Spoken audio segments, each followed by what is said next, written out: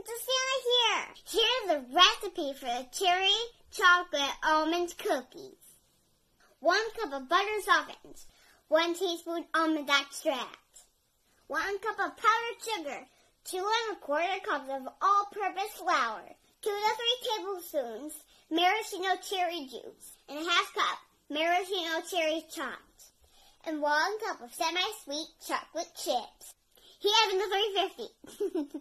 Cookie sheet with parchment paper. Large bowl. Beat butter until smooth and creamy. Beat in almond extract and powdered sugar. Mix low, slowly adding flour. Mix in cherry juice and cherries. Stir in chocolate chips. Roll into one inch balls. Flatten balls. Bake 12 to 14 minutes. Cookies! Mmm. Hey guys, Daisy Princess Ana here. Want to see what I'm having lunch for today? I'm going to have a sandwich. What kind? Peanut butter and jelly with bananas. And on the side, oranges, some chips, and cucumbers with lemon and salt. Some chocolate milk. And don't forget one of your cherry chocolate almonds cookies. Have a great lunch.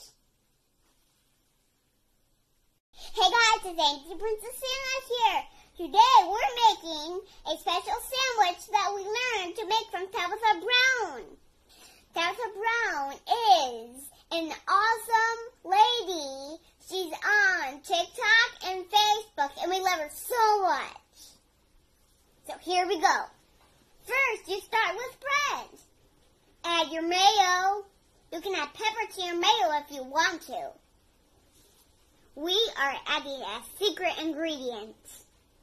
Everything bagel seasoning. It's good on everything. Then you add your sliced tomato.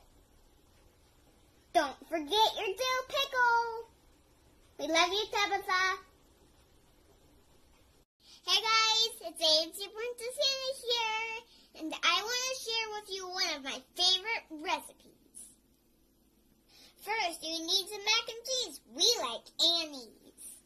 You can follow the directions on the box, or you can make your macaroni any way you want.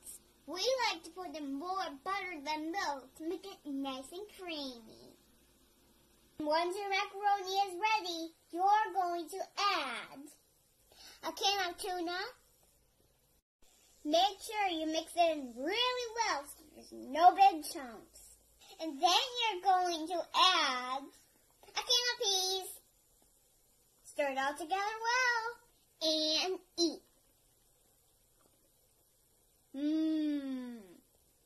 I hope you like it as much as I do.